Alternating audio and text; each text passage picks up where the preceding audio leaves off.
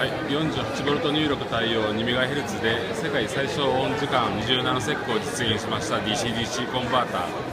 B09V100MUF です。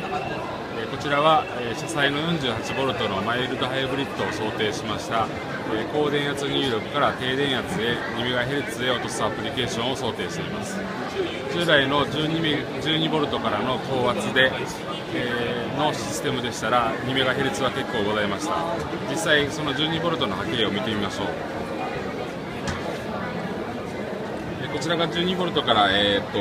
3.3V へ高圧している波形です、まあ、こちらでしたら 2MHz は今従来でしたら可能でした。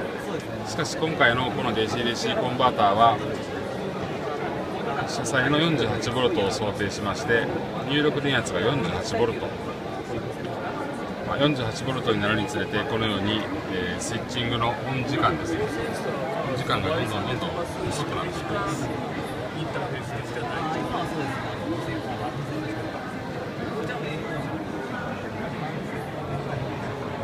でこのスイッチングオン時間が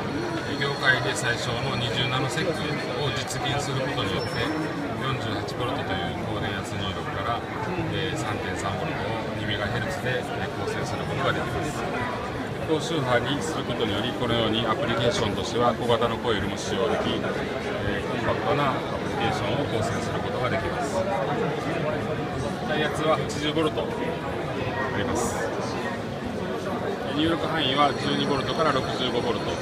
スイッチ電流は 1A になります。